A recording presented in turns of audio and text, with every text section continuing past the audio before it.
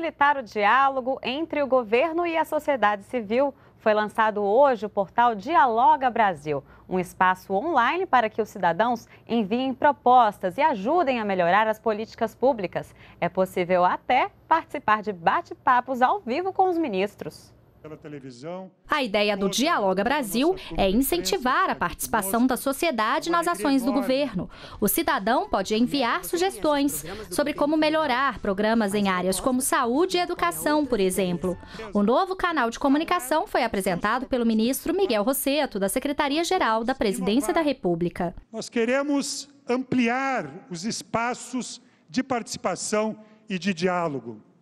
Nós queremos que todo cidadão brasileiro, da menor, do menor ao maior município do nosso país, toda cidadã brasileira, do campo ou da cidade, da floresta ou da caatinga, de todas as idades, possa ter um canal direto de participação com o nosso governo, com o governo federal. O portal entra no ar com quatro temas para que a população possa fazer propostas de melhorias das políticas públicas. Estão localizados no lado esquerdo da tela e são saúde, segurança pública, educação e redução da pobreza. Basta clicar em um dos temas e escolher uma das ações para participar. Por exemplo, na seção saúde, o cidadão pode escolher o programa Mais Médicos. É possível encontrar todas as informações sobre o programa, enviar sugestões e ainda se inscrever para um bate-papo virtual com os ministros. O Dialoga Brasil vai apresentar ao todo 14 temas e 80 políticas públicas prioritárias para que a população apresente sugestões de melhorias. Em novembro, o governo federal começa a responder às três propostas mais apoiadas em cada programa. O governo precisa que vocês participem.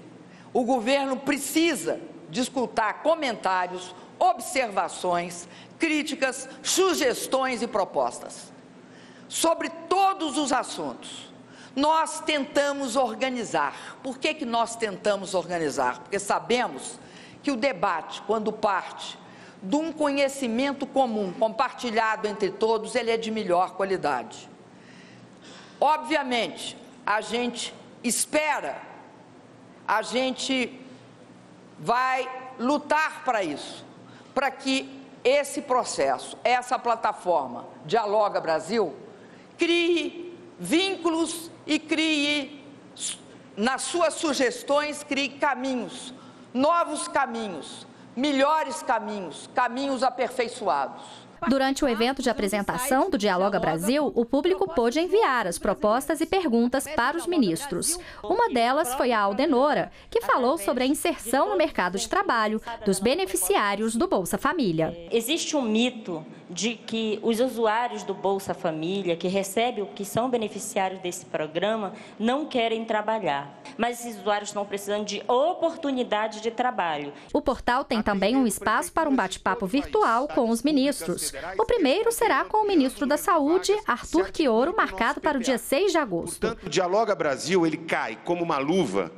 e é um estímulo para que todos os brasileiros e brasileiras que não puderam participar das conferências, que não estarão em Brasília em dezembro, possam participar e ajudar a definir os rumos da saúde para os próximos quatro anos. A importância do Dialoga Brasil eu considero como um avanço, né?